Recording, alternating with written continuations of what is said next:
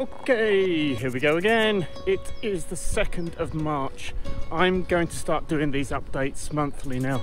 It makes sense, that way I won't have to answer loads of questions on Instagram and Twitter and YouTube.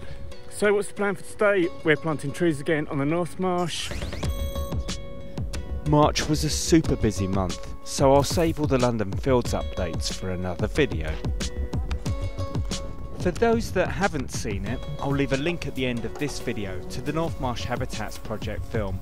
This explains the ongoing project that we're working on at this site.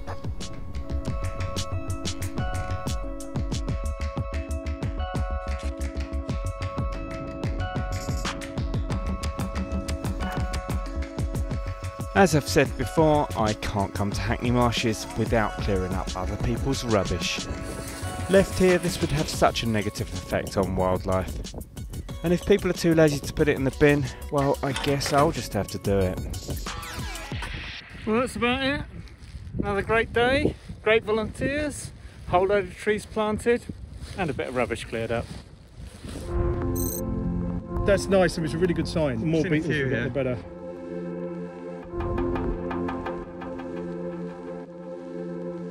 It is the middle of March. I haven't recorded an update for a little while. I've not been that well, had to cancel a session in London Fields, which was a real shame because I wanted to get some bird boxes and bat boxes up and plant the last few trees. But stuff has been getting done. We did a session in Wick Woods in the week, which is where I am now. We built this huge standing dead log pile habitat.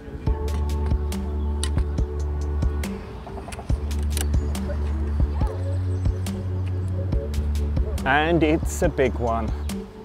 Lots of small cavities underneath that will suit wood mice. We've also dug tunnels out that will suit shrews. They don't dig their own tunnels, they tend to use tunnels made by other small mammals, or in this case, me.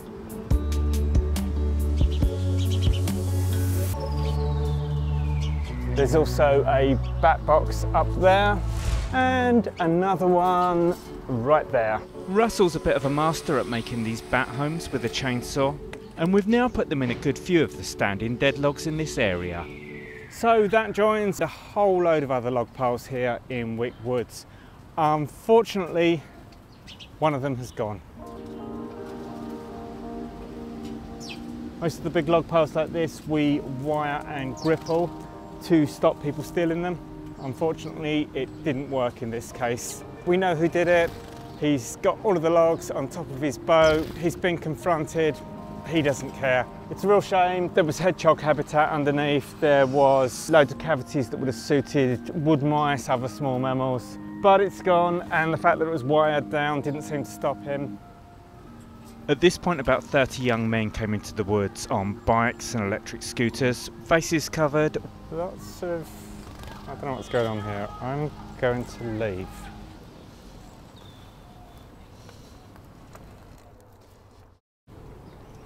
Okay, I am now just across the road on Hackney Marshes. I'm sure I was making a fuss about nothing, but sometimes it pays to be cautious. Occasionally, people do get robbed around here, and I don't know, alarm bells just rang, and I'm sure it was nothing. But that was pretty much the end of the story anyway. Someone stole one of our log piles. It's one of those things. You do this kind of work in an urban environment, and people will mess with it. That looks like fun. In the meantime, Gideon has been super busy building loads of log pile habitats here, all covered in mulch and leaves. Fantastic for small mammals. Another one here. Having these log piles all the way along here is really going to help the recovery of wood mice. They are such an important food source, keystone species in this area.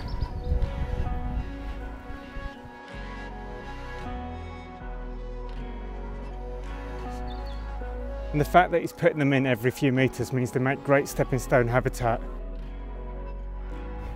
I'm really looking forward to seeing this area all come to life. Spring is just a few days away and it's going to be so nice.